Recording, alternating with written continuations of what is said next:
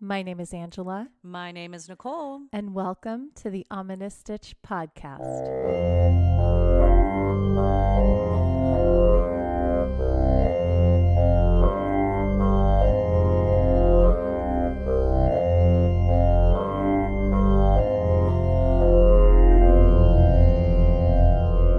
Hello, Stitchers. Hey, everybody. Welcome to another amazing episode of the Ominous Stitch podcast.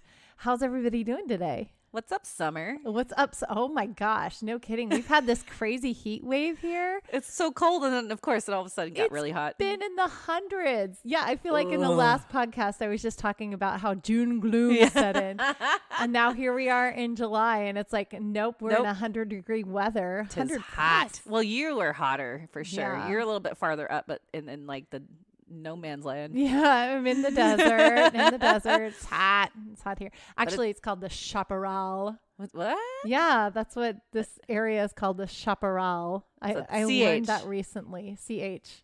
Chaparral. What's that mean? So it's a climate zone that's kind of like a high desert, um, but it's the same kind of climate zone in a lot of areas that grow a lot of grapes and olives and kind Ah, of like Mediterranean. I was gonna say kind of- Greek. Yeah, okay.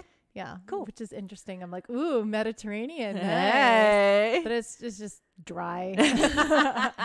That's really not as exciting. dry, and there's no grass. It's all like brushy and yeah. Mm. So Mm, anyway, yeah. exciting. Chaparral. It just sounds Chaparral. pretty that way. Learn something new every day. Hey yo. What? So what's got you in stitches today? So I love my Stitch today. I think this is the cutest thing. okay. So I've talked about my dog quite a bit, Rosie. She's awesome. We adopted her. She's oh gosh, seven now. I can't believe she's seven. They She's grow so lady. fast. They grow up so fast.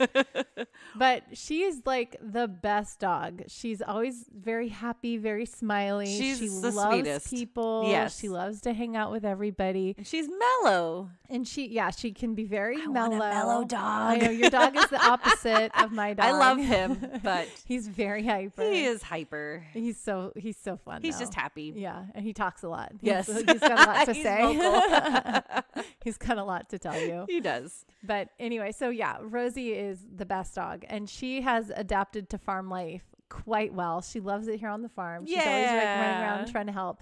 When the alpaca get loose, she tries to herd them. I've talked about that before. Well, she like run around and bark at them. They just kind of look at her like, "What are Why? you doing?" And then she comes up to me and she's like, "I'm doing it, mom. I'm doing it." She's all happy and smiley, and I'm like, "You're doing nothing but good try, dog." So now she has decided to help with the eggs in the morning and in the afternoon or whenever our chickens are laying eggs.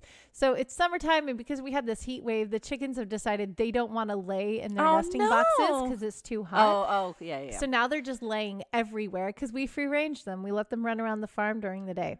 And so they're just laying everywhere. And so we Egg go- hunt. egg hunt. Yeah, we go on egg hunts several times Easter a day. every day. right? so much fun. I love it. So, but we like kind of know they have spots. Like we have some chickens that love to lay in this one tree, which is really funny. But they built this nest in a tree, so we always go check the tree. Is it really not high up in the tree? They can't no, fly. They, no, they can jump Oh, and oh, glide. oh, and- okay. yeah, it's not high up in the tree. They can. That's so there. cute, But It's really cute. They're it's like my roots. I'm yeah, a bird. I think my son introduced them to the spot. He just put a chicken in there. He's like, "Look, this is so funny. There's a chicken in a tree." And then they started. and they're like, laying oh, oh, cool, cool, cool. They're like, ooh, it's a nest. I can lay here. So they lay everywhere. And so we go out several times a day to go on egg hunts so that we can make sure that we collect all the eggs before any other kind of creature starts collecting the eggs. Ugh. And now our dog has joined in on the hunt. And so, because she's a very helpful, sweet dog, she will very carefully pick up the egg and try to bring it back to the house Aw. unharmed Yay! and she has not been successful at that at those attempts until today. She was very successful. She'll bring the egg in and either she'll crack it in her mouth because she'll just bite down She's too hard, or or she'll bring it into the house and then drop it. Which of course we have tile floor, so that will crack the egg. yeah. But today she decided. I'm trying to get her to drop it in my hand. Oh, But today she decided, ooh, maybe if I drop it on the rug, it won't crack. And I was like, and then it didn't. So it was nice. Yay! She Good was job, very successfully brought in an egg. and set it down on the rug. It didn't crack. It was fully intact. Oh, farm dog. So I have a dog that likes to hunt for eggs now. Oh, Rosie, I'm so proud of you. It's so cute. I'm She- looking at her she now. Gets, like so so, proud. Yeah, she's so proud when she does it. She's so cute. Oh, good dog. And I have to tell a quick little side note because I was saving the story to to tell Nicole on the podcast, and I wanted her like very authentic, real reaction because I knew she was going to love the story. It's the sweetest. the second she walks in the house, my kids tell her three times the story. Mrs. Hellman, look, that's a dog and Rosie and the eggs. I was like trying not to listen, I but know. I was like, don't listen, don't listen. This is my stitch on the podcast. But my kids can't help it. They're too excited. it's adorable. yeah. It's so cute. She's But she was very dog. proud of herself. Yeah. Everyone's very proud of Ro- Rosie. She's such a good girl. I love it. Yay. Good job, Rosie. Good farm dog. Training her well. yeah. She's like, I help her on the farm. Now I'm you got now dog." she's gonna do it all the time, and now she's just I know, she's your main gonna- source of egg hunting. bring- I know. We're like, Rosie, go get eggs. she knows where to go. I don't want to go outside. You go, go it's too hot eggs. outside. Yeah. She's got a good sniffer. She can figure out where all the eggs are. Oh, good puppy. I love it. So what's got you in stitches, Nicole? So I saved this for you because I didn't want to ruin the surprise. Oh. We've got a summer. We got a new summer event going on in our in the in our household, Uh-huh. and um, my husband has got us all playing Dungeons and Dragons. I didn't want to ruin it because you. I know your daughter was talking about it. was like, My oldest loves Dungeons and Dragons. Yep. She has a little crew that she plays with at school, and when her best friend is the dungeon master, and it's so fun. It's they, so cute. I love w- listening to her talk about it, and I love that she has this little crew and they I all play together. that. And it's, Yeah. it's so awesome. Fun bonding event. Yeah. Yeah, so my hubs has his all his friends back home. They do it every Tuesday night usually. So they have their campaign, and he decided to get a starter kit for our kids and do it with the family. But he's like, "You have to play because you need to help the kids." I'm Yeah. like, "Okay, I'll play." but it's fun It's though, cute. isn't yeah. it? No, I have to play two characters. They have their Uh-huh. own, and they even drew their characters. He had him draw Oh them. yeah, yeah, that's adorable. awesome. So that's what I was telling you we were doing the other day was that like for a couple hours that's what we did. Yeah. We, we were battling zombies. oh, and fun! I kept rolling a one and I kept No! losing. I was like the worst luck ever. It was the cutest. And and of course the littlest one, he was so good at it and he's like helping me out. Yeah. Um but yeah, and my my oldest one's like sus of everything. oh, that's so funny. but yeah, that's our event now. That's oh, what we do now. that's so fun. and being dungeon master, he my hubs is very stressed out. oh, I bet, I bet. So much research goes into it. Yes, a lot of work. So much. Like we've done a couple of little uh, campaigns when the kids were younger to get them into it. And we have Yeah. a starter kit too that Yeah. we haven't. Uh, we haven't opened and done and done anything with because my daughter likes to do homebrew, so they make everything up. Oh wow. They don't follow any kind of script or wow, anything. that's like, cool. her her friend makes it up they have their own world they they planned for two or three months what their world was and the things that kind of existed in it and how things would would work That's in there. so cool. And I didn't so know you they- could do that. yeah you can make up your own I thought thing. you had to go like that. He's so into these rules. It's crazy. well yeah i mean you can set your own rules but if Yeah. you're following a preset campaign Yeah. then yes you want to follow it that way so Yeah. just like it really depends on that's so cool. how you want to do it Yeah. And so, yeah, so my daughter has her own thing. Her friends, they set up this whole world and it's fantastic. Love that. it. But we started, we've done a couple of campaigns on our own. And so we have our own characters that we play and we play very basic, Oh. loose rules when Sure. we do it. And so my husband very wa- waters everything down. He's a dungeon master. Nice. It's so fun. So the first one that we did was some was some kind of like dragon kind of campaign, and the kids didn't really know what was going on, so it was kind of their introduction. Mhm. And we went to the tavern at one point, and so that's when we broke for dinner, and we had ordered pizza, and so we had pizza, and I made butter beer for everybody at the tavern. Oh, The kids didn't; they were so into it, they didn't even realize that I'd gotten up and gotten pizza from the door. Like somebody came and brought pizza to our house. And I had made butterbeer for Look them. at you. They had no idea. They were so into what I we were doing. That. And then we had like uh I think jelly beans were the dragon eggs or something Oh, like that. And it was really fun. Aww. And then we've done another we did this whole like Candyland campaign another time. And then we had this other campaign that I we still haven't done yet, but I think we're still working on it. But yeah, he plans a lot. it's we, so like, much work. it's yeah, but it's so much fun. yeah. It's so much fun. Yeah. We have such a good time. We have all our dice. We have so many dice. It's crazy. so I just, it's so cute to see everybody. Like, Has he 3D printed a dice tower? Yes. Yes, I figured we he have would. many of those. That's so funny. Yeah, we have many of those. The kids are using them right now. But yeah, it's just cute. I just like that we have a little family thing to do. We have to kind of rein in the little one, his attention span. yeah. I'm like sure. Yeah, he's he's all over the place, but it's good and they're having fun. So, uh, but but the oldest is he's just like, "Are we gonna play again today?" I'm like, oh, "If you want to." And Oh, then I love it. yeah, That's so, so good. that's our family thing. Aw, yeah, I so love it. everybody's out It's so there, fun. geeks of D and D, let us know. D and D is awesome. Yeah. I'm so glad that so many people are. I feel like it's being rediscovered because it was such like a, a a niche nerd thing it was for a long time. yeah. But it's so cool. No, it's so cool. And it's funny. I went to uh, a pizza place the other day. It was like a week or two ago. Mm-hmm. And they had a little board game store right next to it. And they had like, you can scan it and check out, there's like camps for D&D. And I was like, oh, that is so cute. It, it costs way more than I thought. And it was Yeah. like 8 a.m. to 12 p.m. I was like, who has the time to do that for their kids? Right, I was like. I got to work.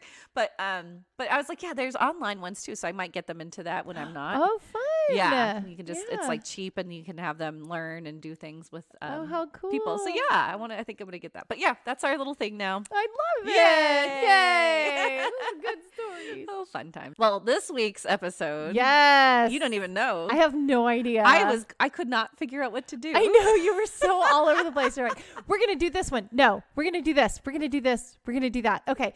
Regardless of what I, whatever I come up with. I was like, I got to come up with something. This is the movie we're gonna watch. Yes. So watch this movie and I'll come up with something. Yeah. So I have no idea. Nothing's tied today. together. Yeah, you'll see. Yeah, you're not going to know until I start Yeah, talking. because like I know whatever my stitch is is Yeah. not tied into what Nope. we're doing. Today is a hodgepodge day. We usually are really good about themes, but no. yeah, it's summertime. We got summer brain. Yes. We're going all over oh the my place. God, my brain's so summer. so go on this fun summer trip with us. We're gonna be all over the place today. Yay! Yay! So should we get stitching? Yeah. Let's get stitching.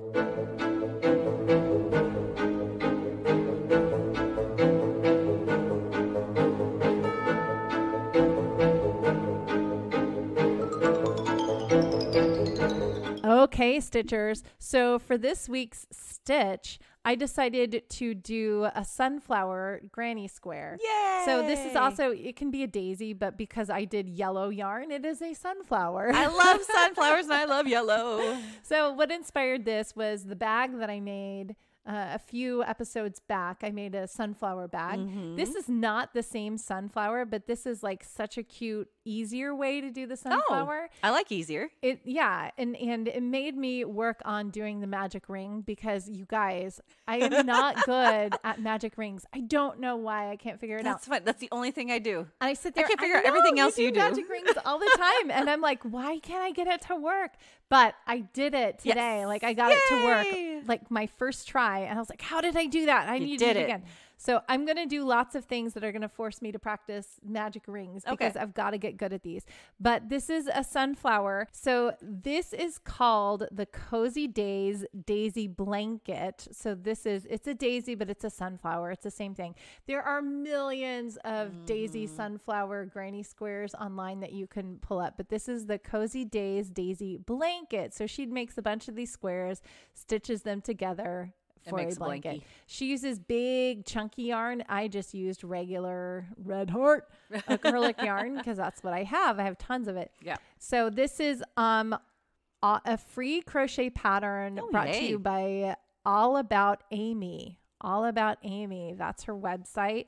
It's allaboutami.com if you want to go to her website. This is a free pattern, so you can jump on there. And then she also does a wonderful YouTube video that we will link in our show notes. So if you jump over to podbean.com, woo. you can see our show notes and then also see this wonderful pattern that she does. It's really simple to follow, especially if you know how to do magic rings. But basically, what you do is you do a magic ring and then you do 12 single crochets, join them together, do another round of 12 single crochets. I can do that. So what I've done in the past is I've done just a round of double crochets. So that's how I ah. did my other thing. But I mean, you can do two rounds of single. It kind of makes it tighter if you want to do that in a more solid middle. So I would, you know, it's, it's a good way to do it. Up to you, however you want to do it. But the main thing is to make the flower is that you're doing clusters in each one, in the top of each one of those 12, Right. right?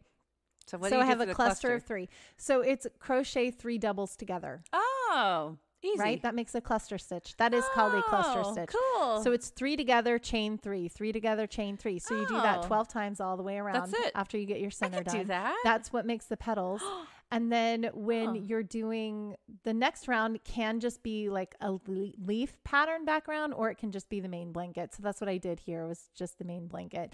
So I used green and then it's three crochet or three doubles mm-hmm. chain two, three doubles, and that makes your corner because we're going from a round Ah, yep. to a corner. Right, right. And then in the next chain three space, you're going to do three half doubles. And then in the next chain three space, it's three half doubles. And then you're going to make another corner. So it's three doubles, chain two, three doubles, I could do this. right? It's really simple. So you're going into each of the chain three spaces. And the main thing is you want to make sure you're doing corners. So it's Mm-hmm. going to be three doubles, chain two, three doubles. And that's what makes it Got a it. It goes a square. square, yeah. And then the final round of it was just you're going to double crochet in every single double crochet. And then you're going to make your corners where it's just two doubles, chain two, two doubles for the next corner. That is so cool. Yeah, it's really simple pattern, but it's a really beautiful little way to make a, a daisy. Yeah. And then when I was doing my blanket, I just added on, you can keep making these squares as big as you want. So, I mean, sorry, not my blanket. When I was making my bag, Mm. I did a row of alpine after this and then, you know, just kind of kept making it bigger and bigger until I got it the size that I wanted. So, yeah, that's it. It's a really simple little Yay. little sunflower. I love it. Sunflower. So yeah, I could cute. do that, You and it's so adorable. So you're gonna do that? Are you trying to make another bag, or are you gonna do a blanket for this one? I don't know yet. Ooh, We'll see. It Okay. might be. I don't know. Her wheels are turning. There's so many things that you can do with these. I So, like granny yeah. squares. I need to do them. I haven't not done them yet. Granny squares are so versatile. You can do all kinds of things with Right. these granny squares. But I think I might make another bag. Yeah. Um, but I think I might make a different bag than the Oh. than the one that I did before. A little. You're you're changing it up. Yeah, the Okay. the one bag that you sent me that used I think like maybe twelve of these. Yeah, yeah, yeah. yeah so there's another pattern. there's another bag. So many different bags. So many bags. So many ways to use granny or a squares. vest. I always think of like I'm an old lady. I'm gonna have a vest one day with these. Yeah, you will. but it's cool. Or pants. pants. Yeah. How cute would this be in pants? pants. Sunflower pants? I love it. It'd be so cute. It'd be really cute. I love it. we got to make pants someday because Well, we wear lots we of keep pants. talking when we about do that. that. Yeah. yeah. Make some pants. okay. Well, that's all I have for stitch time. That's beautiful. I'm so ready for story time because I have no idea what it's gonna be. It's gonna Yay! be so exciting. So, are you All right. ready for story time? It's story time. Yay!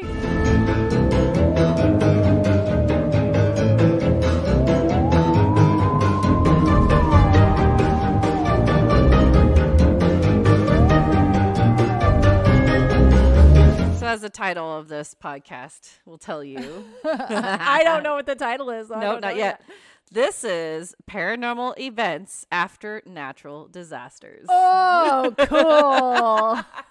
this is gonna be fun. Yeah, there's only a few. I only got a few. I'm sure there's more, but there is the, uh, the internet has so much about this one specific event that I'll go into the end. And I mean, natural disasters in general are scary as all hell, right? Like yeah. they they scare me a lot. well, yeah, because it's like They come out of nowhere. they come out of nowhere. It's Yeah. a natural, Natural disaster. disaster. The earth like, is what? is mad and it's gonna yeah wreak havoc. And so the first event, I've only got three today. Okay, okay. the first one is Hurricane Katrina.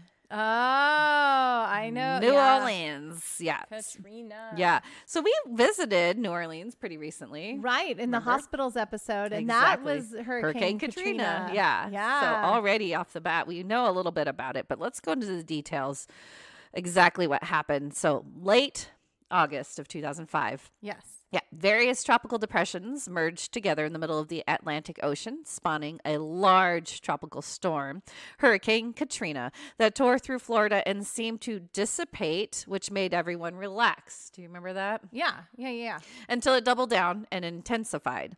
So Hurricane Katrina turned into a Category 5 hurricane and caught Yeah. everyone off guard in New Orleans on August of 29th. Sadly, due to engineering flaws in their flood protection levees, floods ripped through New Orleans and it tied as the most expensive tropical cyclone on record. The other was Hurricane Harvey in 2017. Roughly 80% of the city was inundated for weeks, and people were stranded without food, shelter, or basic necessities. And alligators ran rampant. Oh my god. Remember those videos? That was crazy. Ugh, alligators. Once rescue efforts happened and streets weren't flooded anymore, they estimated 1,200 deaths. But Dude. yeah, it's a lot. That's a lot. But an already pretty spooky town full of souls, living and the dead, Hurricane Katrina left even more of a paranormal imprint on New Orleans. So, a very well known tragic story was that of Vera Smith. Did you ever hear about this? I don't think so. Cool. Okay. Smith was born in Mexico, grew up in Texas, then moved to New Orleans in her prime. A mother of two daughters, neighbors knew her as a quirky, boisterous woman that was even louder and even more obnoxious when drinking. And that happened a lot. Oh no. But she fit the New Orleans vibe as she loved fancy clothes, costume jewelry, and had a wig for each day of the week. that sounds very Yeah, uh, New Orleans. Yeah, right? Yeah, Yeah. yeah. She lived in a small duplex with her common law husband. I think she was married. Did I say if she was married three times? I think. No, she yeah. was married three times. She was married three times. She sounds awesome. Yeah. Living her best life. Thousands of people fled from New Orleans when Katrina bore down, but not Smith. Now, either on or around August 29th, when Hurricane Katrina was still pounding New Orleans, neighbors found 65 year old Vera Smith lying dead on Magazine Street. Oh, Vera, no. Yeah. It's not 100% what exactly happened to Smith, but everyone believed she was struck down by a vehicle that was stolen since people were looting. It was crazy. Oh. Yeah. But, another but, But the autopsy report uh, later showed no injuries to confirm a hit and run, so her manner of death is still undetermined and mysterious. Vera, what happened to you? We don't know. Even more sad, Smith's decaying body lay in the street for four days. And like the, the temperatures were about 90 to 100 degrees. So she, just decaying body just laying in the middle of the road. Why? Because rescue services were so busy, they couldn't get to her body. They were just Oh, doing so much other things. They're like, well, she's dead. We can't do much about it. But thankfully, neighbors that didn't even know each other got together and moved her body to the sidewalk in front of a vacant space, placed bricks around her, and put a tarp on top. And on the tarp, they wrote, Here lies Vera. God help us. Oh my gosh, that you have a picture of it. I have a picture. That's sad. That's sad. So it's unclear exactly when Smith's body was finally recovered, but in 2006, her body was cremated and her ashes were spread over her parents' graves in Texas. And years later, the vacant space where Smith's lifeless body had spent a long time was purchased, and a two story restaurant called Charcoal's Gourmet Burger Bar was erected. It opened in 2012. But then in December of 2013, a story came out, and people were talking about all the strange things that were happening at Charcoal's. They sort of joked about it, but when equipment started malfunctioning, they believed Vera Smith's spirit was still lingering. Oh, Vera. Yep. The restaurant was said to have a very va- bad vibe and had very cold spots. The lights would flicker on and off, and even specters were spotted reflected in the windows. Dude. Yeah. The owner had someone build a memorial at the restaurant for Vera Smith. Some said to help exorcise her spirit, but the owner claimed it was just to help remember Vera Smith. But in 2018, Charcoals closed down and Deanie's Seafood Kitchen opened in the same building. To ensure the building remained calm, local artists created another memorial for Smith outside of the new seafood restaurant. But locals still claim there are strange things and bizarre encounters that happened in and around Deanie's. Is it Vera? Uh, I think so. I think it's Vera. She. I mean, That was pretty sad.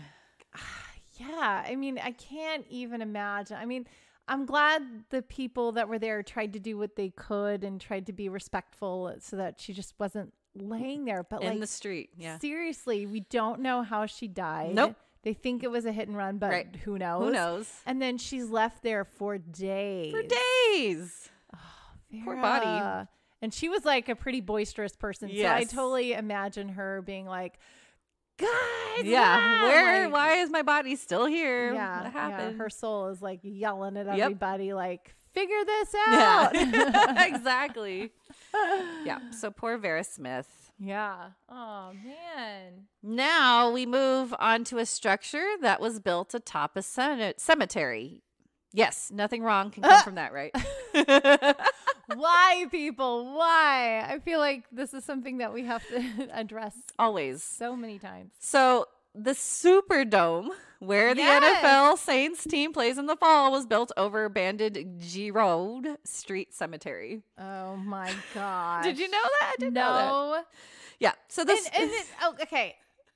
And this is New Orleans. Like Yep. this, you can't, you don't bury people. Everything's like above ground because it's Yeah. it's below sea level. So if you dig down, you're gonna hit water. Yeah. you can't do that. So everybody's above ground. Yep. when they're buried. Yeah. but like, why would you? Why would you choose Oh that? Oh my god! Well, let's get into it. So the cemetery had been visited by grave robbers many times, as you're mentioning, Yeah. right? Vagrants had set fire to crypts, and by the time the mayor condemned the cemetery in 1945, farm animals were wandering the cemetery in and out of collapsed tombs and open vaults. Oh my So gosh! this cemetery was not really like used. It was not very well. maintained No, no, not at all. The remains of those intended or interned, sorry, were moved to other cemeteries, but in the 1960s, when the stadium was still being built, remains were discovered in the parking garage. Oh my gosh! so you didn't move all the bodies. It's poltergeist. Nope, I know Yeah. it is. Not cool. Now, even with that juju, Hurricane Katrina made matters even spookier. Over 20,000 people congregated inside the Superdome, where miserable people who either lost their homes or were seeking shelter dealt with large heaping piles of garbage, putrid waste everywhere, and everyone was starving. Yeah. Remember that? don't I if do. you- I, I, I 100% crazy. remember that. Yeah. Yeah. Poor place, poor people. Gloria Guy, who was interviewed on dailybeast.com, claims she witnessed the disturbing uh, event in the Superdome. I don't know if you've heard this one either. A guy was so tired with everything that he went over to the banister, jumped off, and killed himself. Oh, that was pretty big in the news. So it, it was only he was the intentional death. He committed suicide. There was two elderly people that died in the Superdome. Oh, They're just old. so sad. yeah, man. it was pretty intense. Years later, a $220 million renovation took place and the Superdome was rejuvenated. But even with an updated stadium, people claimed to see ghosts and spirits.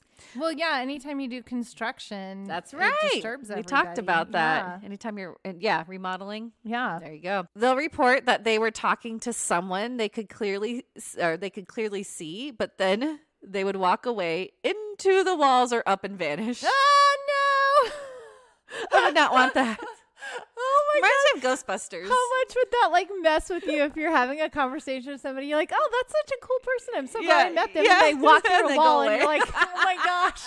and they're dead. You're like, That oh, so they're so mess with me so fan." much. Yep, no. I mean, I have like social anxiety enough as it is. So like, I can't- Imagine the person that you like is dead. no. Oh, wah, oh, wah. that would be the worst. Like if they were like cute and you were hitting on them, and you're like, ah, And nope. oh man, My chances just diminished. Oh man. Uh, some claim to feel intense cold spots in the Superdome and inexplicable gusts of wind happen. Some will hear disembodied footsteps in empty corridors and also see doors opening and closing on their own. When people take photos in the dome, some will even claim to see mysterious orbs or mists. Ooh. Yeah, so Superdome, I, if I ever go over there, Home of the Saints. How Yep. funny is that? wanna So go watch religious. that. Yeah.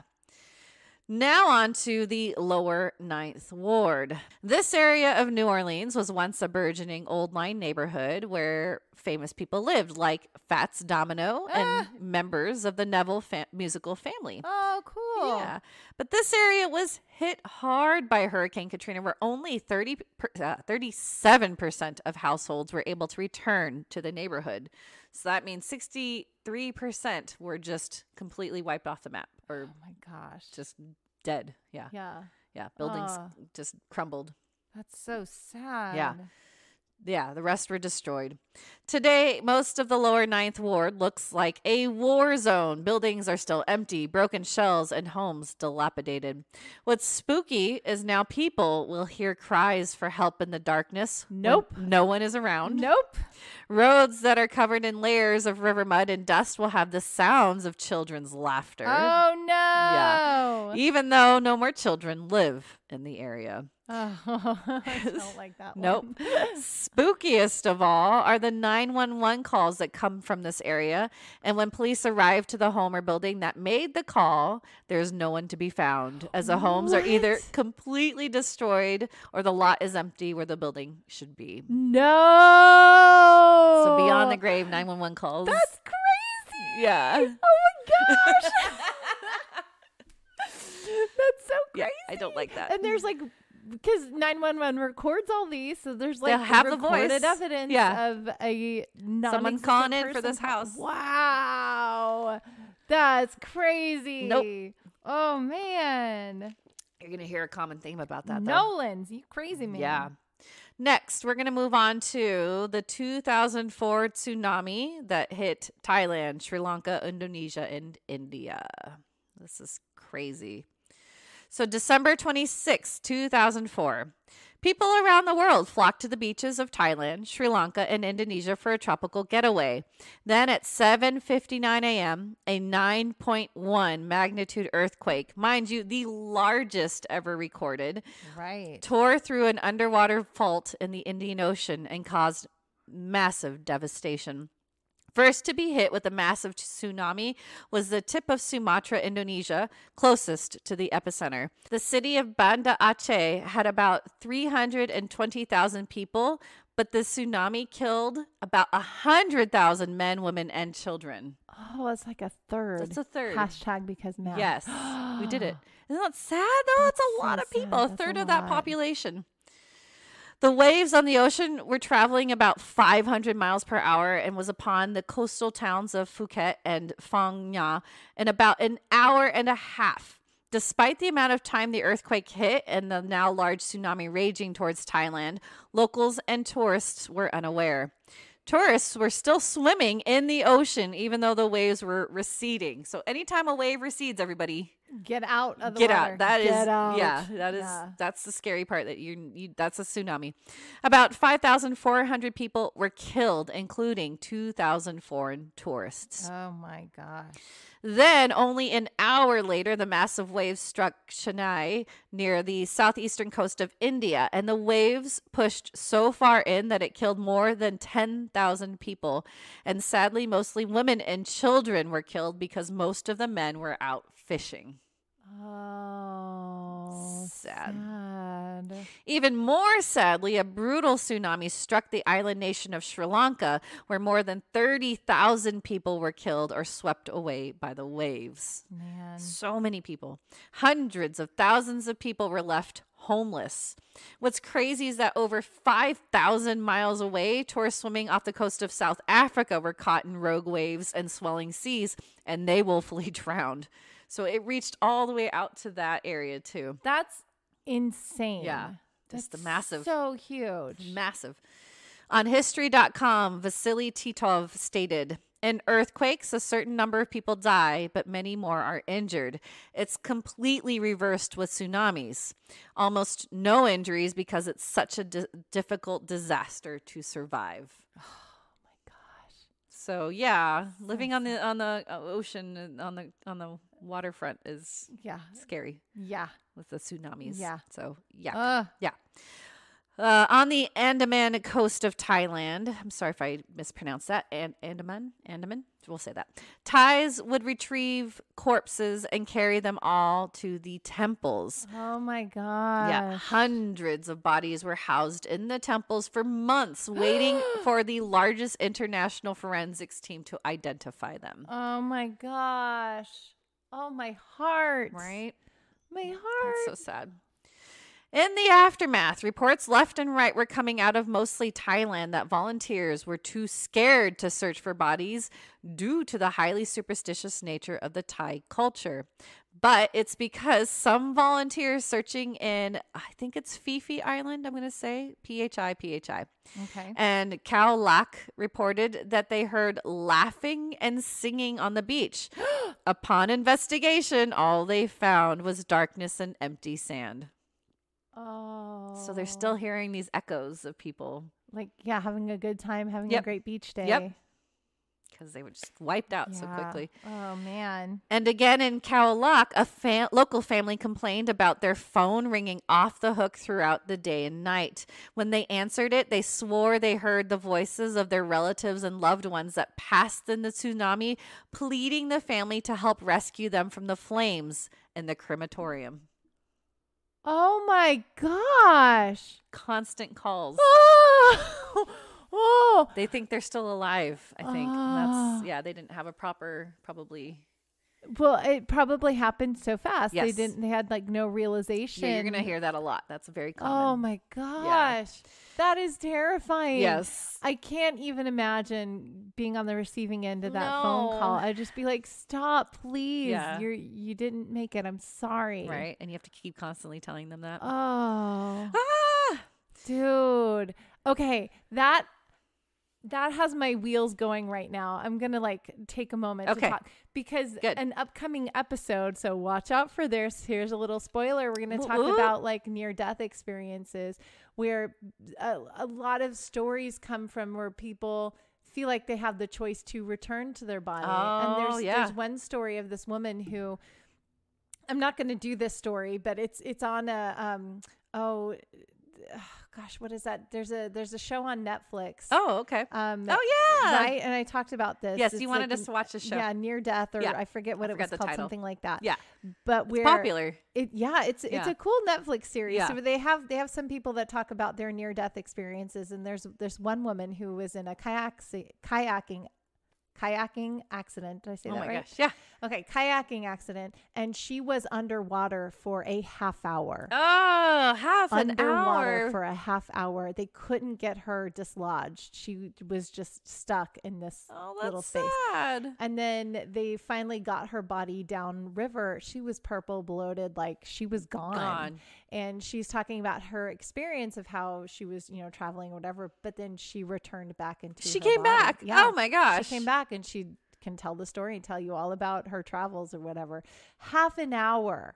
I feel like you'd be brain dead by that point. Well, she was. Yeah. I mean, like she was. I'm she had she no was able to come back in her body for a half an hour. Yeah. And she's fine. She kayaks now, and like, Nope. right? Isn't I'm that like, an nope, interesting thing? Uh, people so go back to that's like did. really interesting that maybe these people were having these experiences, but how they were able to connect their energies and call and try to get back into their bodies. Right. That is so That's insane. sad Yeah. that they wanted to return to their But bodies. this they they were wiped out too soon and without knowing. oh. So that's that's really scary. oh my god. Ah! That is a crazy story, Nicole. Yes. There's so many though. Yeah. Uh, specifically on Phi Island again, a woman witnessed foreign tourists struggling to escape the sea one year after the tsunami hit. oh. So it's that oh. replay. Yeah, that residual. Yeah. Oh. Then a hotel worker claimed to also hear ghosts playing on the beach, similar to the volunteer rescue workers. That's a very common theme. Yeah. Taxi drivers in Phuket were extremely frightened by the paranormal experiences after the tsunami. Specific taxi driver Wiwat Sakulde, Saku, Sakulde? That's a say. cool name. Yes, Wiwat. Talked to South Coast Today News regarding his fear of driving at night and definitely will not drive near the beach. He and other drivers heard about Lek's encounter. One night, Lek picked up seven tourists for a fee of 200 baht, which is about $6 today. It's pretty good. They told him to drive to Kata Beach. He said he drove for a while, but then suddenly his body felt cold and numb. Then he looked around and noticed all the passengers vanished. Oh. Seven them, Gone. Oh man. Yeah. Oh man. It really frightened him. He said, Yeah. I can't get over this. I'm going to have to get a new job. I have a daughter to support, but I'm too scared to go out driving at night. Oh my gosh. I can. I, I, I- I, feel I- you, man. Yeah. I wouldn't want to do it either. I would be a nope on that yep. too. I got a new job too. Apologies. I've been pronouncing the word wrong. P H U K E T is Phuket. Sorry, guys. So, on a beach in Phuket, a foreign woman's scream echoed through the night from the wreckage of a hotel that was badly hit. And a security guard at the same site quit his job because he couldn't handle the ghostly cries of help me over and over again Uh, and the apparitions he witnessed. oh my gosh. That's just. It's just. That would chill me. Like, yeah. Another story passed around Phuket is that a foreign female ghost that walks along the shoreline calling for her child. Oh no.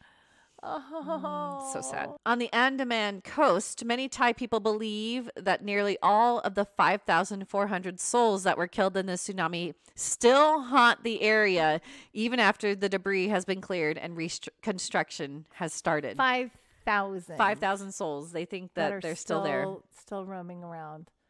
Oh my gosh. That's so much. Now, many Thai uh, and many Thai people of all faiths believe that if people die in pain or by accident, that their spirit remains lost until they understand what happened, and then they can finally move on. They also believe that the unsettled spirits could lead to bad luck, and most believe ghosts resides in tall trees. Oh. So oh. So they might be if there's a lot of large trees around. that that- is that's like where they're gonna the be ghosts are gonna lingering. be hanging out in the Yeah. tall trees. Oh, that's creepy. that's their belief. Yeah. Woo! Only until the body is cremated or blessed by a loved one that they can move on. So until then, the soul remains restless and will try to show their family member where they are and appear nightly. Oh. Many other tourists from neighboring countries share this common belief, so they had stayed far away close at the at the, the aftermath. Local Buddhist and Chinese monks held rituals to lay the wandering spirits of tsunami victims to rest.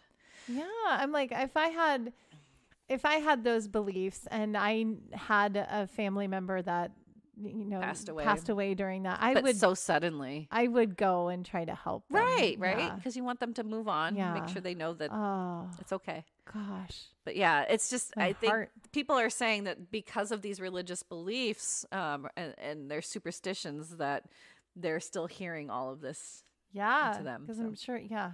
I'm sure whole families were wiped out at Yeah, that point. So, So, many people, so many people. This was a big one. Oh. In Banda Aceh, the capital of Indonesia, the residents that lived on the oh my gosh, Krengdoi, Krengdoi, sure, river, told stories that they heard cries of help from beneath the water every evening for two weeks after the tsunami hit. Two weeks. Soldiers had located dozens of bodies from the debris filled waterway. South Coast Waterway reported that Adek, a 22 year old who recently graduated from uh, university, was on his way to pray at a mosque located on the river's banks when he noticed two spirits. Oh. One of the spirits he followed and watched as it went into a home but faded into a shadow. Adek that mm. went to the home's door found it locked and no one was there and no one was home. Oh, he's just going home. Yes. Oh man. Adek believes the spirits are not settled because they haven't found their families. Oh. Sad. In Kalmunai, eastern Sri Lanka, villagers claim they still heard voices shouting for help. Reverend Clement An- Anadas, Anadas stated that they the villagers hear the voices loudest when they are closer to the sea. Oh yeah, that makes sense. Yeah. Psychologist Dr. Wanlap oh, Piyamanuthan Yep. Sorry, guys. I'm going to No, ruin a lot of words. You're doing so much better than I would. It's so you're. you're, oh, this is fun. So much Piyama better. Nutham, yep, states the reports of ghosts and eerie happenings is just a result of post-traumatic stress disorder, and that most stories popped up about 10 days after the tsunami struck. He believes this is when the horror of loss and devastation fam- finally kicks in at that time and then spreads to those who are not immediately affected. And because most of the souls lost were foreign, dying in such a tragic manner, their brains are going to create ghosts. But then we move on to our next tragic natural disaster where there are even more paranormal sightings and exactly the same things happen. Oh wow. So how is it all human to you know nature to have this PTSD or where you're like reliving it, and so you think Yeah. that it's like a reality thing. Yep. No, I think that that's somebody's way to explain away the paranormal. They can't explain what's happening because you can't, you know. right? They're like, oh, it's your brain making all these. You're so like, stressed out. You're yeah. seeing things and hearing things, but I feel like I feel like we don't. But then, how do you explain all those phantom phone calls from nine one one? Seriously, right? Yeah. So I mean, if you have evidence like that, How can you explain it away? yeah, I get it. I feel you. No, I'm on your side. I just had to throw that in just in case. I know. Got some skeptics out there, I'm sure. The last one we're going to touch up on today is the Great Tohoku earthquake and tsunami. This is the reason why I wanted to do this this episode. Oh. So, March 11th, 2011, at 2:46 p.m., a 9.0 undersea Ugh. megathrust earthquake struck roughly 45 miles east of the Oshika Peninsula of the Tohoku region in Japan. The earthquake registered as the fourth most powerful earthquake recorded in the world and the most powerful earthquake ever recorded in Japan. And apparently, this earthquake was so powerful that it shifted the earth on its axis. I don't know if that's true or not, but that's what it's, one website What? said. Yeah. oh, So big. the- uh, Yeah, I was like, maybe it barely, it, maybe not. it shifted a tiny bit, but I don't know. The earthquake caused powerful tsunami waves that reached roughly 133 feet in height when it reached Miyako in Tohoku's Iwate Prefecture. That's a really big. Then, when it reached Sendai, it is said that waves traveled at 435 miles per hour and up to six miles inland. Six miles inland. that's crazy. That's far. That is far. Residents of Sendai only had no more than 10 minutes of warning to evacuate, but when some reached evacuation sites, those were washed away. So you think it's safe. You're like, Oh. oh, I, I made it. Nope. No, It's you gone. can't get out. Nope. Oh, Over 10 evacuation sites were swept away. And you've got to be like in such a panic if you only have 10 minutes. Oh, to, yeah, like, how do you get get out? Yeah. You can't because people are going to crush miles, too? together. Yeah. There's no way. Nope. I remember when my parents were evacuated, I think for Harvey, because they live Yes. in Houston. Yeah. So when they were evacuated for Harvey, they were going to Austin, which is normally mm, like about a three hour drive or something, three Oh, four wow. hours. It's not that far. Yeah. Um, but it took them over 12 hours Because it- everybody was because leaving. Everyone was leaving. So many people. even though they had opened up both sides of the freeway, Oh, which is so the I 45 freeway, they Right. opened both sides out of the city. It That's still didn't matter. crazy. Like it still took, and you know, they kept having to pull over to get gas. There was no gas anywhere. Ah. Such a panic to get out. 12 hours. This is why some people. That's I. I kind of side sometimes with those crazy apocalyptic people where they have everything prepared. Yeah. I wish I was like that, but I'm not. not- I am not that No, like I, I don't love think that. that, far ahead. No. I'm a moment to moment Yeah. kind of girl. I'm not I can a make a a list planner. for you pretty I'm, easily, I'm not a planner. I won't have everything ready for you. The tsunami also caused meltdowns of three reactors at the Fukushima Daiichi nuclear plant. and, oh no. yeah, and the discharge of radioactive water. Ah. Hundreds of thousands of people had to evacuate from their homes due to this, along with the structure of the uh, uh, the plant exploding due to electric generators running out of fuel, then causing a heat buildup as well as a hydrogen gas buildup. There's a lot more science to it. That's very, very, very touching the surface of what happened. But basically, the nuclear reactor plant there, just like you don't want to be near it. yeah. It's no. crazy. Yeah. I was watching this documentary about it that even today, that even if you try to go in, uh, people the radioactive Radio radioactivity. reactivity, the radioactivity is so strong that a human would die in five minutes. Holy bajolies. It's still that bad. They're they're estimating about forty more years before someone can safely go around that area. Wow. It's that bad. Yeah. That's insane. Yeah. Uh, yeah. So they had to expand evacuations of up to 12 miles of the power plant. Similar to the tsunamis in 2004, they were more deadly than the earthquake itself in Japan. Entire towns were wiped out from the tsunami hit areas. Seawalls that were built to protect the, from tsunamis were not high enough. They Yeah, thought they were yeah. good, they weren't. Rescue efforts were difficult too due to the weather. When the tsunami hit, it was only zero degrees Celsius outside or 32 degrees Fahrenheit. Right. It was snowing. Snow. It was freezing. Yeah. Oh my god. Ishi Ishinomaki, that's where it was mostly that cold, and that's where the estimated the most deaths were. Cities in the Iwate prefecture, the Fukushima prefecture, and the Miyagi prefecture were either completely destroyed or heavily damaged. So all these cities and towns were just wiped out. In 2021, official numbers were reported. There were 19,759 deaths. Oh my Six, gosh. yeah, 6,242 injured. And to this day, 2,553 people are still missing. Ah, that is so many people. so many people. Soon after the devastation of losing so many loved ones in the blink of an eye, many Japanese people told stories of seeing neighbors, loved ones, and people that had passed in the tsunami. Most were frightened, but some saw it as a normal occurrence. The mass amount of ghost sightings spurred books gathering tales from people. Most famous is Richard Lloyd Parry's Ghosts of the Tsunamis. I think most talked about now was an episode of Unsolved Mysteries Ah. featured the tsunami ghosts in 2020. Yet, they didn't really relay just how many people were seeing spirits. So, the show does cite the work of sociology graduate student Yuka Kudo of Tohoku Gakuin University. She did a research paper where she asked over 100 taxi drivers if they experienced any spooky encounters in the aftermath of the tsunami. Seven of them did come forward with their stories. Oh my Yeah. Some were even unfazed by Ah. the sightings. Yeah.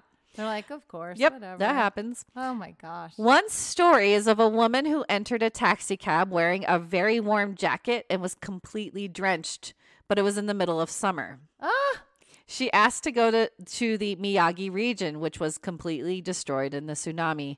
The taxi driver explained that the area was in ruins. And after she was notified of this, the stranger the strange passenger looks at the driver and asked, "Have I died?" no. His blood turned cold, and as he turned to look at her, she was gone. Oh my gosh. So, well, okay. Good. yeah. Bright side is maybe he helped her move on because maybe she realized, She didn't oh, know. maybe I died. Yeah. And, oh, wow. So n- maybe she knows now. oh my gosh, Nicole. Yeah. On Unsolved Mysteries, Kudo's Professor Kanebishi explained one story about a man that was picked up wearing a heavy coat as well. Oh. He was around 20 years old, and the driver felt something odd from the passenger. He asked to be taken to a mountain destination called Hio, Hiyoriyama.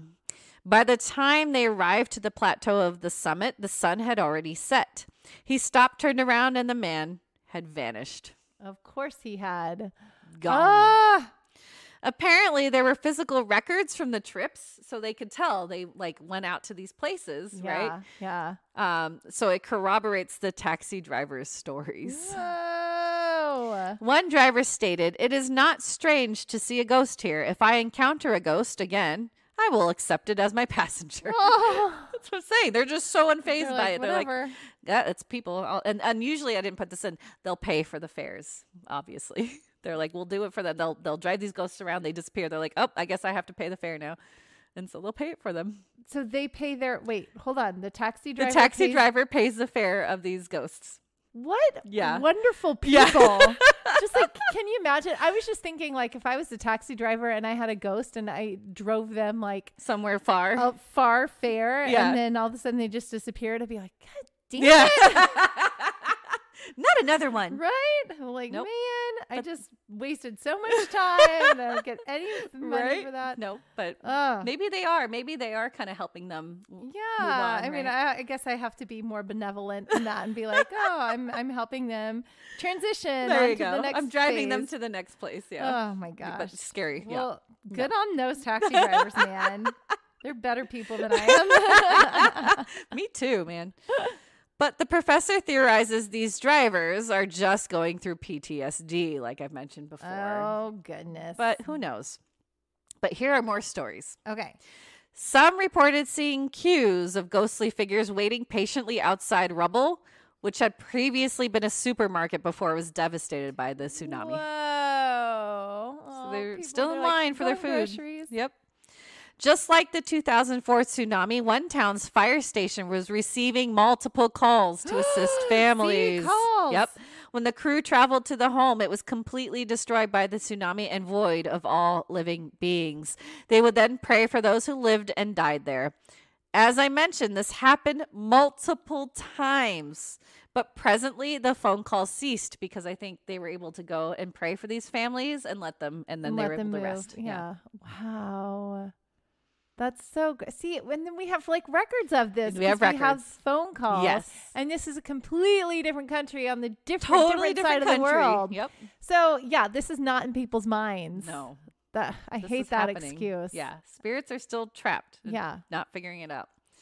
A refugee home in Onagawa reported a ghostly woman who regularly visited the house for tea time. Oh. She would oh. sit down, drink tea, then when she would leave, her cushion would be soaked in seawater.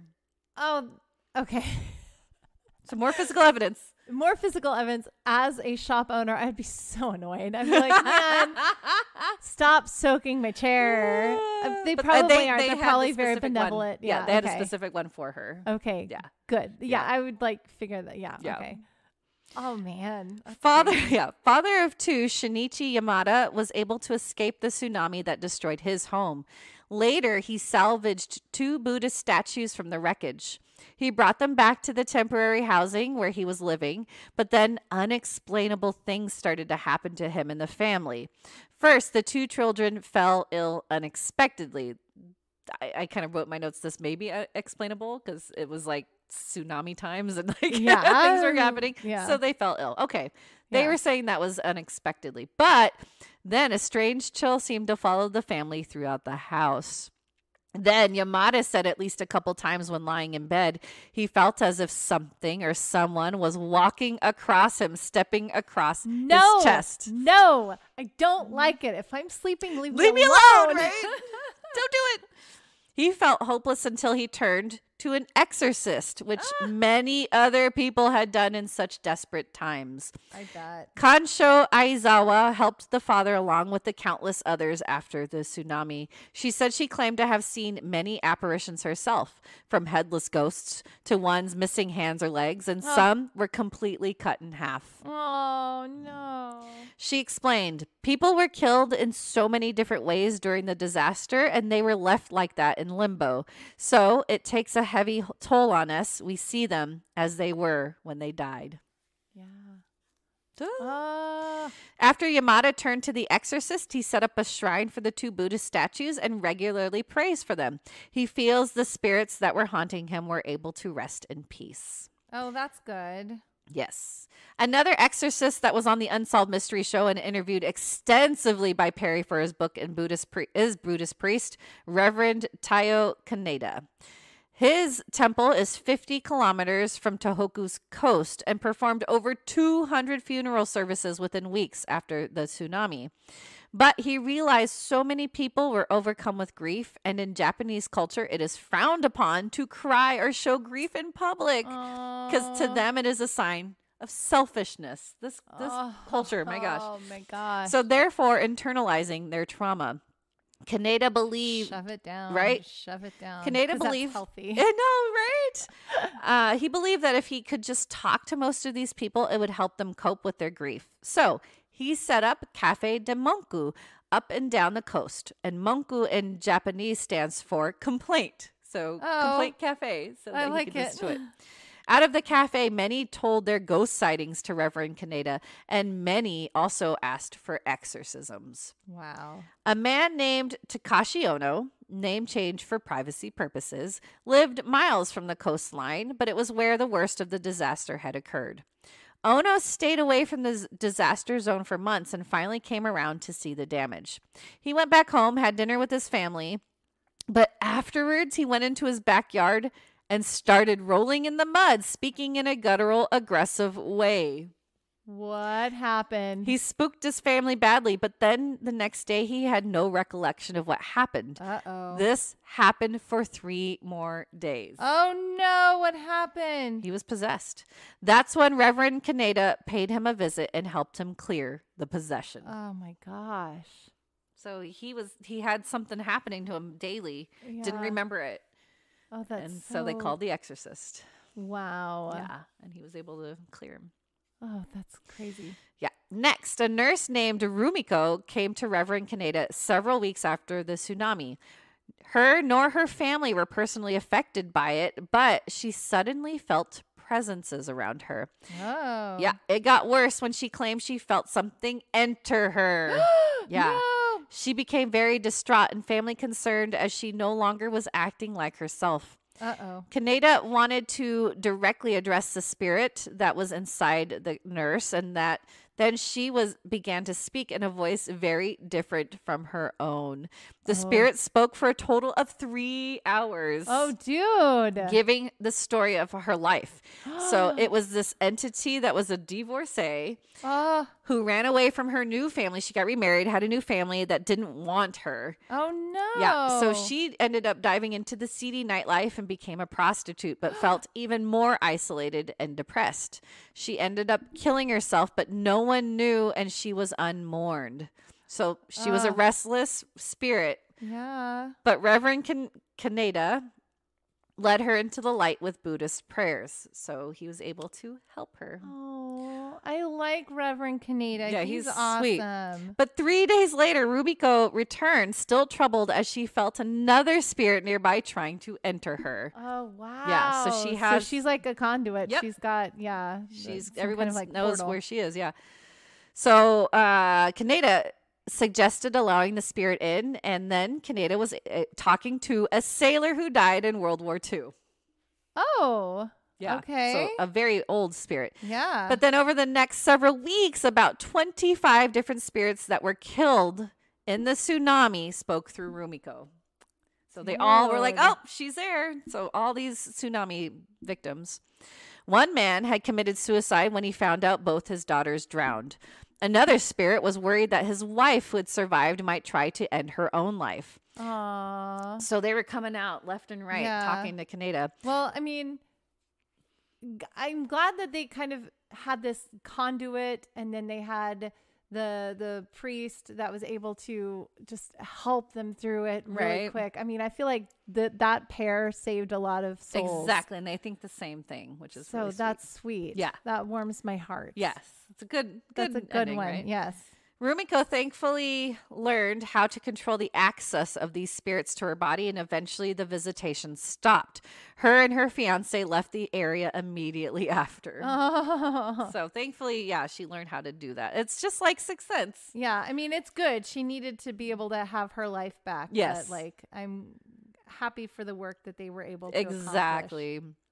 and I'm happy that she was able to move forward and have her own life as Right, well. Yeah, right. That's important.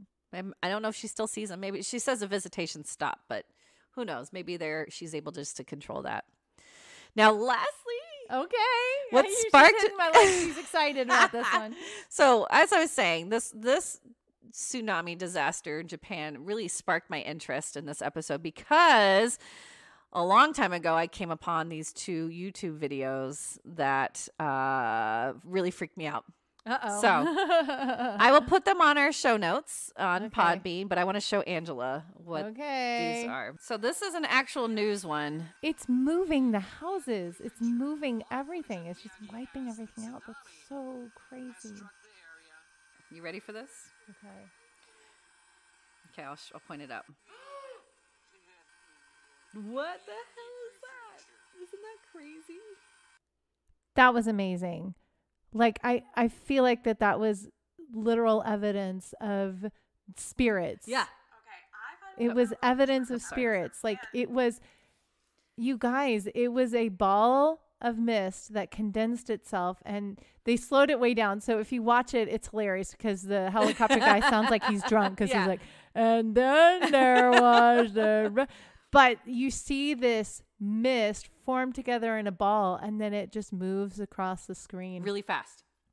Yes, it's- it's, it's slowed down. down, this so thing is moving moving real really fast. fast. It's a collection of everybody. Oh Yeah. wow, that's so cool. Okay, this one's longer. Okay. So this video, real quick to tell people and preface this, this was actually taken. You'll see it. They'll they'll flash the original link, but I pulled this link because they slow it down for you to see it better. And this is the first one I ever ever seen, and Okay. this blew my mind. Okay, you ready? I'm ready. Okay, so this is kind of long. So th- this is someone just filming, right? They're they're filming everything that's going on. Okay, so you see this. They're yelling everybody to get it, you know, back. So they're gonna climb higher, I think, at some point here. Yeah, there we go. So now they're up top; they can see better. So keep your eye over here. What the hell was that? Oh my gosh, you guys. this like legit takes the form of what you think a ghost looks like from when you were like little. It looks like that kind of white sheet kind of a thing and it has a little bit of a physical form but then a tail and it vaporizes into nothing. Where does it go? Where is it going? Is it climbing? Where is it going? What? The- it came out of the water. It came out of the water. There yeah, okay. No, it, it it yeah, it might come out of the water. It kind of comes out of a house, but like it's it's a ghost. It's It's, a what you think of a ghost. This like the white sheet. Boo ghost. but with no other physical form. no other physical form and, And then it just climbs it, and it goes up and then it vaporizes into nothing. And this was so this was taken from somebody's like camera. Yeah, somebody's like Someone's just movie. filming the They're- tsunami. they're filming the the river is is overflowing and and going up into the houses and they're like on top of something they're up in a high structure and the the mist Watch, just watch. rises Did you see it? oh it went so fast oh there's There another one again. in the back It's the same it's one. the same one So he climbed up here and then Uh-huh. that's a different mist is it? It's yeah that's a the same. different mist because the other one came from lower that's a yeah, different but it mist climbed up. So we're thinking it climbed up and it's climbing and now it's climbing to higher ground. that's a different mist that's a different one Look at it. That's a whole other one. wow. Nicole. This was what spooked me so much about this whole tsunami. I've watched all this. These are legit like ghosts. That's so crazy. So what do you think though? Like wow. they're coming out of the tsunami. So did this was this a spirit that had gotten caught up somewhere else and then was trying to climb higher grounds thinking it was a person like he, they were still physical form or do you think this was like something else completely like I don't know. I think these are just spirits that are coming up out of the water. So, like, wherever they came from, that one looked like it was kind of behind the house. Yeah. The one from before looked like it came Out of the out of the water. And then this one looks like it's coming up from behind the house. Yeah. So, we see it behind the house and go by this other. yeah people's building, theories were thinking that it was the same one but if you're thinking it's I think it's a cool. different one. yeah so there you It's go. a different one because they're coming from different places. And the first one dissipated. Yep. That this happens at a different time. mm-hmm. later on Wow. That That's is spooky so crazy.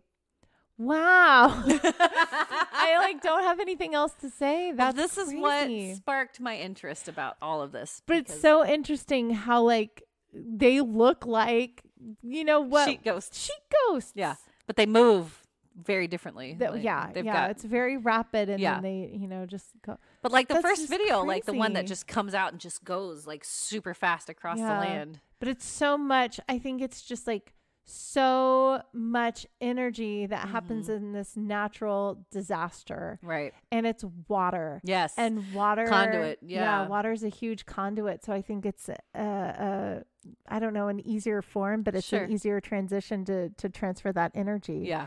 but that's so crazy, to just see that to see the energy the life force hmm just arise from that wow you guys have to watch these it's crazy and i'm sure there's a million videos of this i'm like those are the only two I could Those are the only find. two? Okay. Yeah. But that was that rid- that the second one was the one I saw, like I said years ago, and it blew my mind. And so I, I've been wanting to touch base on this oh nicole ever since. Yeah, it's crazy. that's So, amazing There you go. Tell us what you think. Yes, you can email us. I, I'm so shocked. I'm like forgetting to do my thing. Nicole has to prompt me. You can email us at the ominous stitch at gmail.com if you have any ghost stories of your own that come out of natural disasters or out of anything we want to hear. So email us and we want to hear your stories.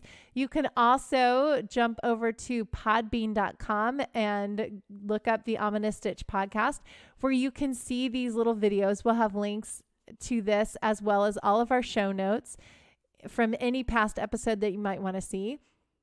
Also, there's a little button in the upper right corner that says become a patron Whoop, if you feel so moved and you want to join our patron army that we're building right now. Army. I love it. I don't know. Stitchers. Group. Yeah, group. Yeah, Our, our wonderful little community, the Stitch crew. Hey, cute. I love it. So if you want to join our Stitchers, our Stitch crew, please crew. Uh, think about becoming a patron. We'd love to have you on there. We'll send you stuff. We'll give you shout outs. Yay. We love our patrons very much.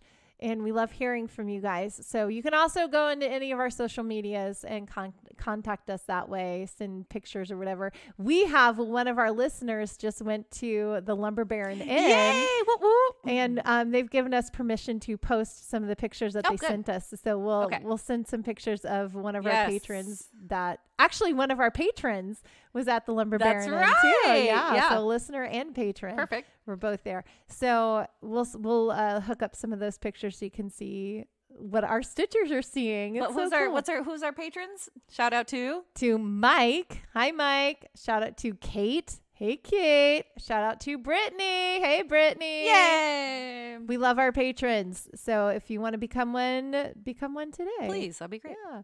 That was a crazy story Wasn't that time. insane? My mind is so blown right now. Summer.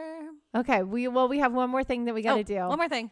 And so, ooh, we're going long on this episode, people. this is a long I episode. thought it was gonna go short. I know this is long. We're so excited. So we'll we'll dive into movie time right now.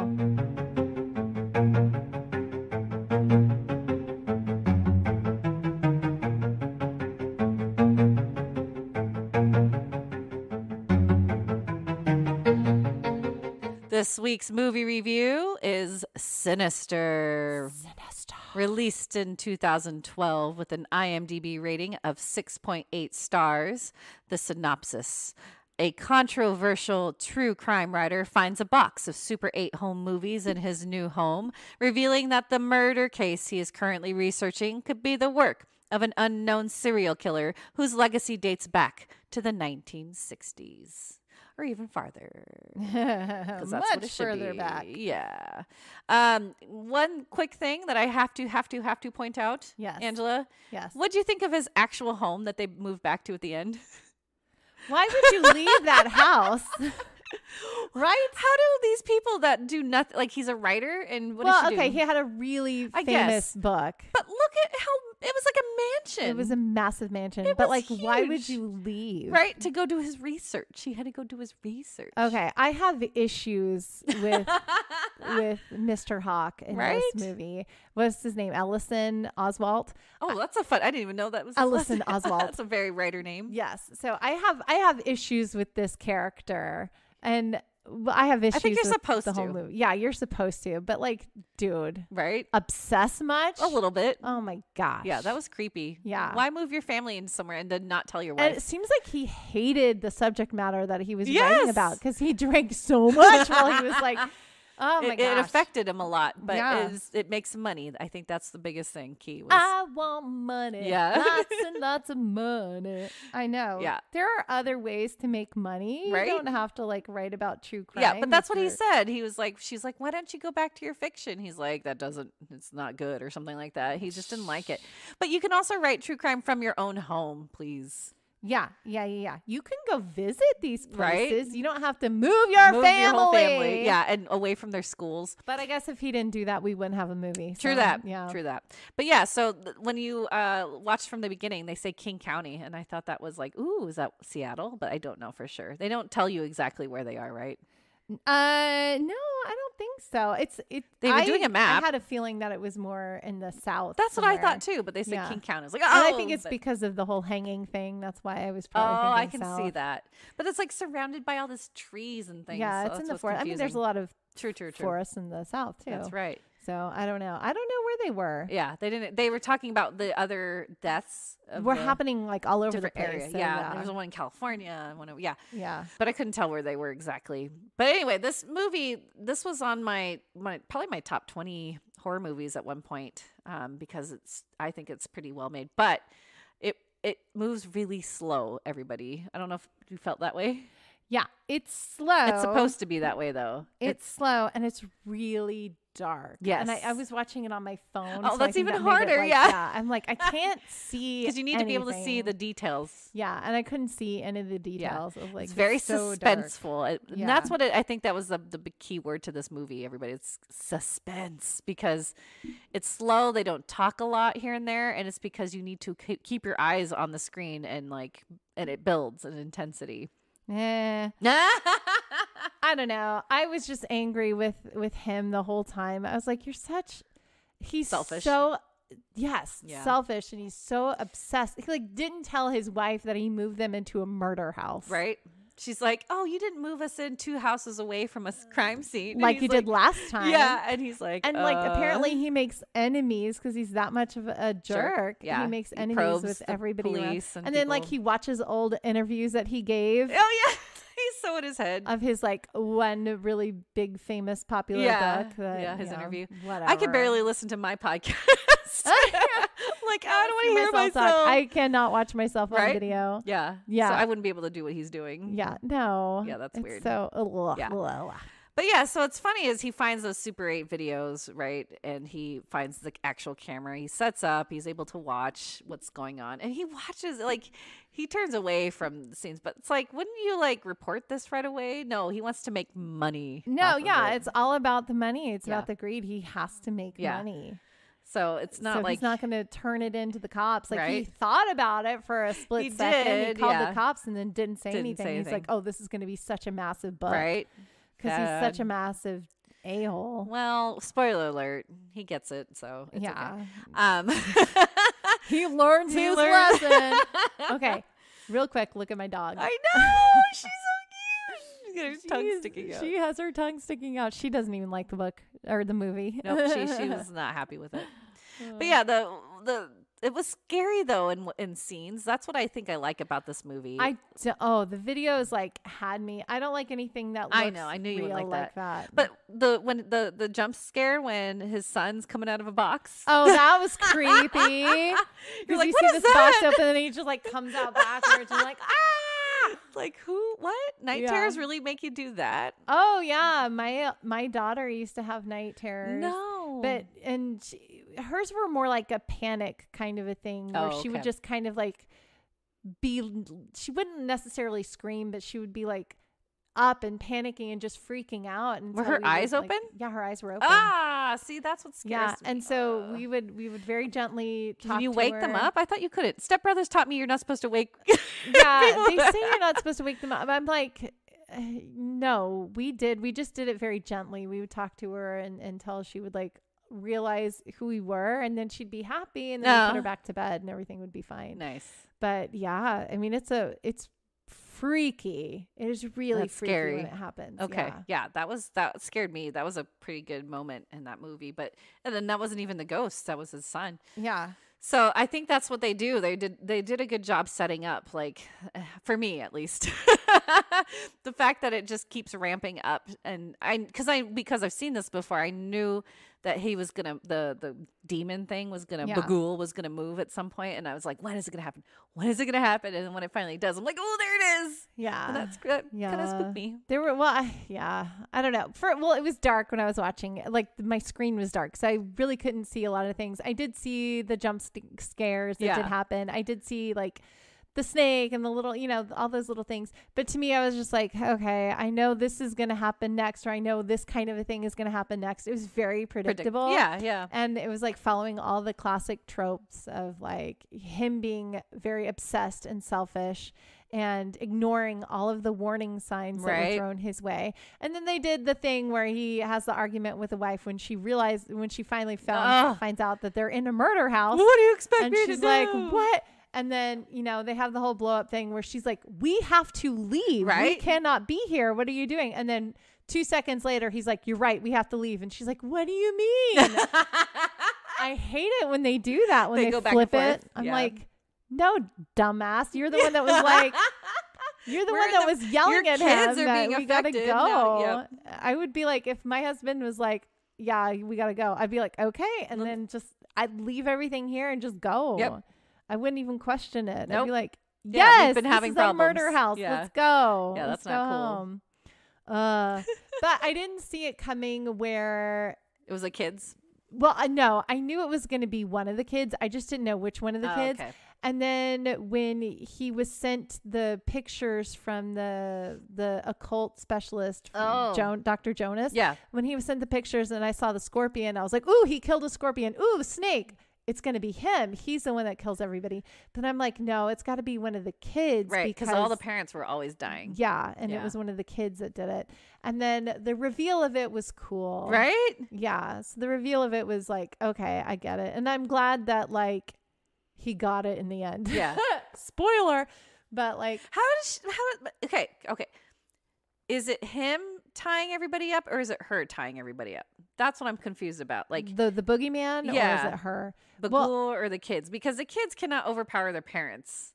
Well, okay, so unless they drug them. Oh, drug. That's right. I forgot about the They drugs. drug- they drug Yeah, yeah, them, yeah. and so they're able so to do everything. The kid can do it. But I think Still having to move your parents that are like twice, three times the size of But you. But I think like once the boogeyman I think he's eats possessed. the kid's soul or right. possesses the kid, they they get his That's man true. The strength. strength. Yeah. I mean, he's they've got to. Yeah. Spooky. Yeah. So anyway, the the ending was cool. it like made it better for me because that wasn't necessarily the ending that I was expecting to happen because Right. you're expecting them to get out Get of it out. somehow. yeah. Yeah. And Yeah. then that's not what happened. And then when they provide the link like you moved, that was your mistake. Spoiler. Um but I mean it's still cool. You guys can watch this movie. It's not like I liked it. yeah it's it's it's fine i just like was kind of i don't know i think i was just annoyed because it was so dark and i couldn't see it and i just sorry. hated ethan hawke's character so much Oh no. he was such a jerk But that's how he's time. written. He's supposed to be the i jerk. know He's drinking constantly. He's doing stupid things. i'm like you hate what you're writing Yep.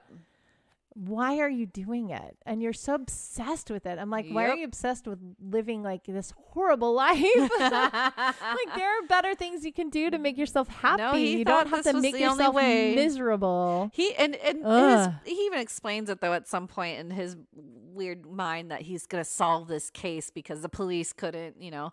So I think he was trying to be this hero at he the has same this time. crazy inferiority complex that he's constantly trying to overcome and Yep. nothing's good enough Nothing's good enough. Yep. it's like it's gonna wait till my next book and then everything will be turned around or whatever But that's I'm always like, what they say. no. It's always the next thing. yeah But I still I thought this as a horror movie is still pretty was pretty creepy and it the producers of it was made Paranormal Activity and Insidious. So yeah yeah yeah no i thought it was well done i just like don't like the character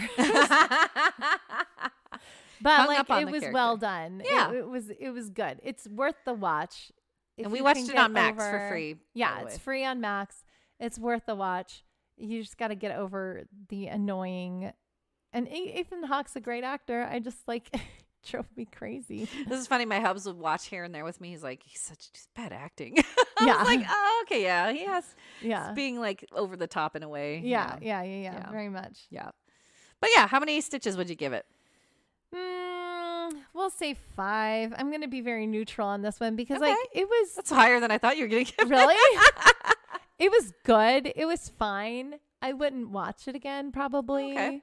It's not like necessarily my cup of tea. It's Just pretty. like, it's pretty gut wrenching too, though. If the characters are annoying, I just like it's harder. Him being annoying was harder to watch than the Super 8 videos, Uh, which yeah. is crazy. sure, sure, Because those Super 8 videos were like meant to look real. real. It's gruesome. Yeah. And it was very gruesome. Mhm. They did cut away from the super gruesome parts. yes, You know, yeah. so that's thankfully. good. You could still watch it in his Uh, glasses, kinda, but like, yeah. yeah, that was they nice. did cut away from the super gruesome stuff. Yeah, Um, so it wasn't like super bloody, but it was like, you know, it was, you can tell what was happening. Yeah. the the intention was there. yeah. I would give it a six point five. IMDb gave it a six point eight. I'm gonna think I'm gonna give it a six point five. Okay. Yeah, because I probably won't watch it every you know year, but I'll probably pull this out again here and there once in Yeah. a while, once just in a while. I think there's a Sinister too, Oh, uh, well, yeah, it could keep going, huh? right? Yeah, yeah, yeah, yeah. Didn't get as good. Yeah, yeah. but I don't think I've ever seen Probably Sinister 2, because, but- like, you know what the Yeah, you can know what to is, you know expect. the twist. yeah, You know how all these things are linked.